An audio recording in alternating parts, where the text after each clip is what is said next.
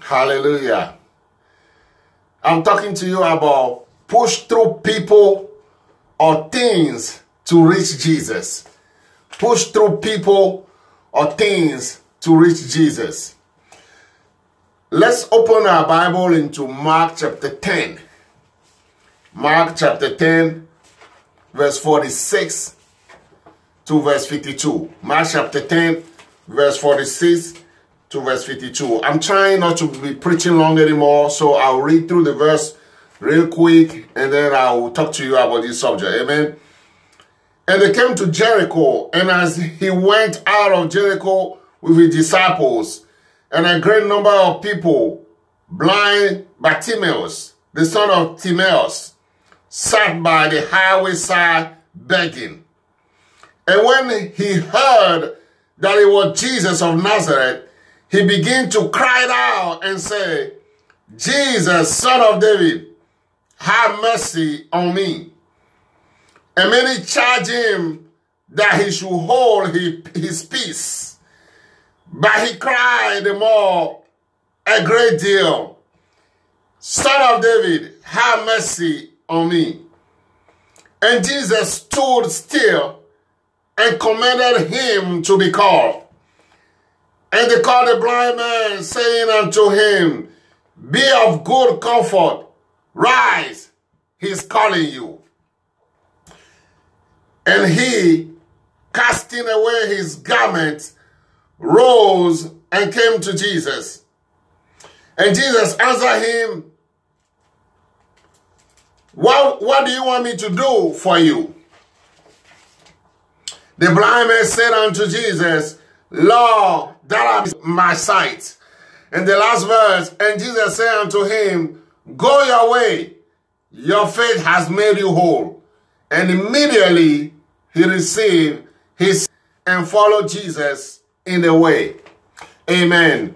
That's Mark chapter 10 from verse 46 to verse 52. The title of this message is Push Through People and Things to Reach Jesus. Blind Bartimaeus, he was blind. That's why they call him Blind Bartimaeus, right? He was blind. He had a miserable lifestyle. A blind person does not see what is around him. A blind person cannot have a job to feed himself and provide to his own needs. The case of this man is very deplorable. And he sat on the road every day to beg people that are passing by to survive.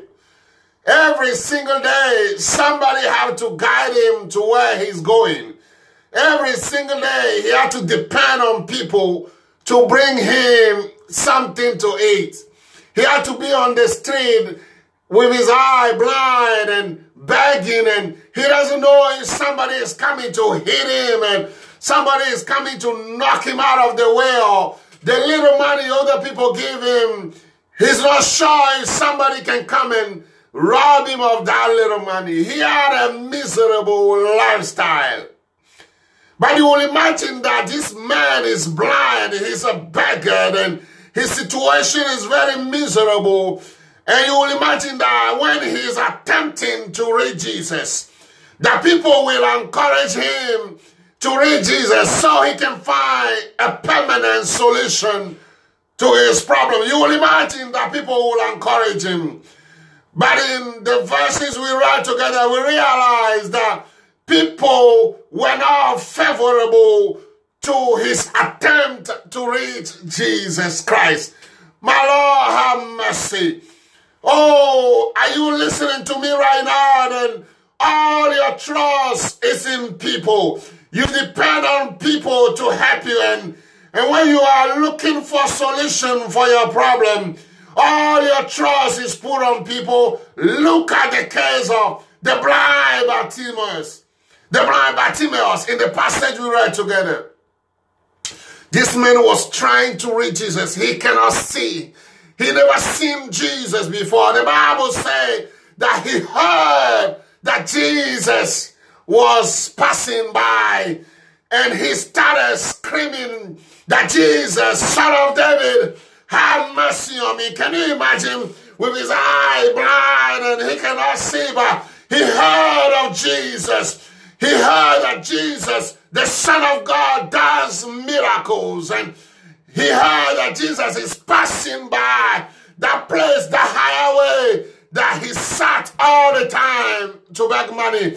And the blind Bartimaeus said, hey, this is an opportunity that I gotta grab. This is an opportunity that I cannot afford to pass me by. And he started screaming, Jesus, son of David, have mercy on me. But unfortunately, the people told him to shut up. My goodness. Unfortunately, the people told him to shut up. And I've been wondering why would anybody hinder a blind man to read Jesus that can solve his problem? If I were in their shoes, uh, I would say, blind Bartimaeus, Jesus can heal you so you can stop begging us for money. If I were in the place, I would say, blind Bartimaeus, I want to take you to Jesus so Jesus can fix your problem so we don't have to be guiding you and move you out of the way of the vehicles or so we don't have to be carrying you around and take you to the bathroom and show you where to go get something to eat and where you, you lie down and sleep. I, I will encourage the blind man to get to Jesus so Jesus can change his life so the burden of that blind man can be taken off my life. That's what I will imagine of doing if I were in the shoes of these people. But sadly enough, this man told the blind Bartimaeus when he was crying out to shut up, they were telling him to stop screaming and calling the name of Jesus. People, I want to tell you that people are evil. People are evil. They don't feel your pain. They are, they are not accustomed to the misery you face every day. And when you are trying to reach Jesus, uh, people will discourage you from doing so. You have to learn to push through people to get to Jesus. Remember the title of this message is uh, Push Through People or Things to Reach Jesus. Have you made a schedule of praying hard? Have you made a schedule to go to a retreat, uh, to go to a fasting program, a praying program, to reach God for your problem? But people are discouraging you for doing so. People say you don't have to do all that, but your problem remains with you. Maybe they don't feel your problem because your problem is not their problem. Maybe you are sick in your body or you are fa- you are facing a family problem, but those people telling you not to go the extra mile, they don't have your problems. And they are discouraging you of going hard to reach Jesus. Uh, people are evil uh, and they will stop you from reaching Jesus. Uh, my friend, what are the ways you are trying to reach God? Is it through reading the Word of God? Is it through finding your solution in the Word of God? Is it through praying? Is it going to see a man of God so your problem can be solved? People will stop you from reaching to Jesus. So you have to learn to push through, through people. You have to learn to push through them, knock them out of the way in order to reach Jesus. These people told the blind Bartimaeus in the passage. In verse 48, he said, And many charged him that he should hold his peace. Many told him to shut up. Many told him to do that, to shut up. When he was crying, Jesus, son of David, have mercy on me. So, what is your problem? Let me tell you, only you know what you are going through. And you know that only Jesus can solve your problem because people can't solve it. They are even on the way. They are hindering you from getting a solution. And we know that Jesus is the way. When you are attempting to reach God, You say, no, there gotta be a better life than what I'm living. There gotta be a solution in God than what I have right now. When you are attempting to reach God, people will hinder you. My friend, you have to make up your mind to push through people, knock people out of your way in your attempt to reach Jesus. Hallelujah, somebody. Not only you have to push through people, but you have to push also, also through things. In verse 50, the Bible say, when Jesus said, call the man. In verse 50, the Bible say, and he, the blind man, casting away his garment, rose and came to Jesus. My Lord, sometime when you want to reach God for solution to come to your problem, things can be on the way. The garment is a that you put on in winter against the cold. That garment is heavy. This blind man said, Jesus is calling me. I don't need any heavy thing to hold me from reaching Jesus. So he cast the garment away. He threw the heavy burden away. And he arose and went to Jesus. My friend, what I'm trying to tell you is you have to push through things and you have to push through people in your attempt to reach to Jesus. Because Jesus is a solution. If you can just get to him, Jesus will find a solution to your problems. Uh, just like the case of the blind Bartimaeus. Uh, when he pushed through people, people told him to shut up. Uh, the Bible says he cried louder. The louder he was crying, let's say he was crying, Jesus, son of David, have mercy on me. People say, shut up. He said, Jesus, son of David, have mercy on me. He cried the more.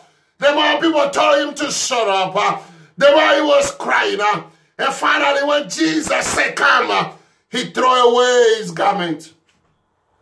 He threw away that heavy burden. He threw away anything that can hinder him from reaching to Jesus.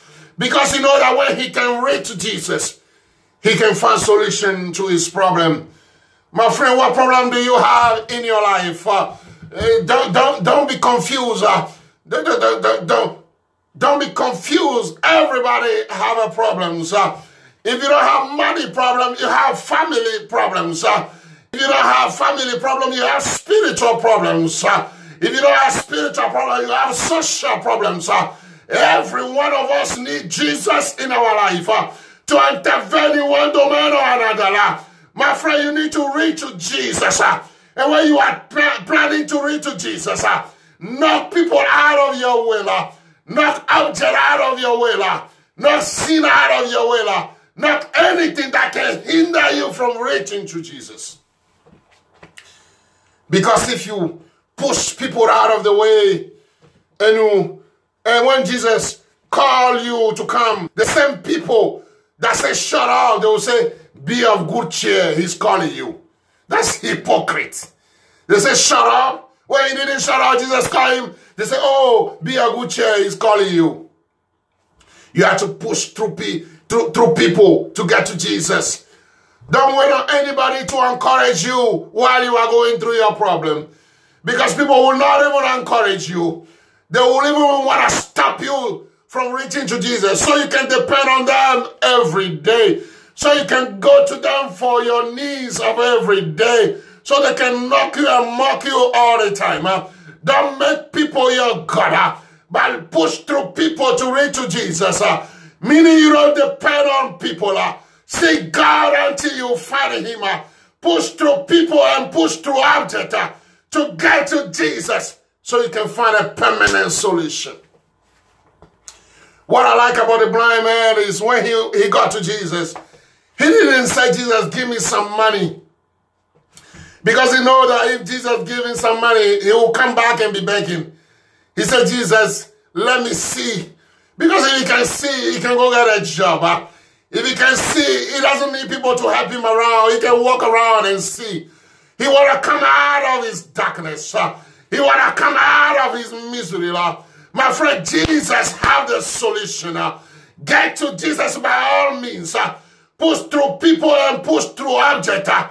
So you can get to Jesus. Uh, and enjoy the everlasting life uh, and enjoy the abundant life uh, that Jesus can give you and I. Push through people and push through things. I pray that this message changes your life so you don't depend on people, so you don't get attached to objects, but you can push them all out of the way so you can reach Jesus. Because when you reach to Jesus, in verse 52, the last verse, the Bible say, his faith made him whole. He was healed. The fact of pushing people out of the way, the fact of pushing, push, pushing objects out of the way, got him to Jesus. And Jesus said his faith of doing that got him healed. And he was healed immediately. My friend, people cannot find the solution to your problem, but Jesus can. Push through people and push through system, push through traditions. Only know you know why you are going through. If other people they pray three minutes and they get solution, you pray three minutes, you're not getting the solution. You better increase the time of prayer. If people are living holy halfway and they get a solution to their problem, you two you living halfway, you're not getting the solution. You better push through the whole way. Push through people and push through things. Let's pray. Father, in the name of Jesus, I pray for anybody hearing me right now. I pray that your power in this sermon can change their life, can change their mind, so they can push through people. Give the energy to push through people. Give them the force to push through objects so they can get to you. And Lord, when they get to you, let your faithfulness, let your power touch their life so they can get permanent solution and know that you are worthy of being rich, that you are worthy of the effort of pushing through people who can help them anyway so they can get to you. Lord, let this message be a blessing to millions of people by your power in the name of Jesus. Lord, we thank you, we worship you. In Jesus' name, amen. Be blessed in Jesus' name. Listen to this message again and again. Share it with your friends. Share it on social media and be blessed by it. And come back and see some more sermons of us that will be a life-changing experience for you. God, may God bless you in Jesus' name. Amen.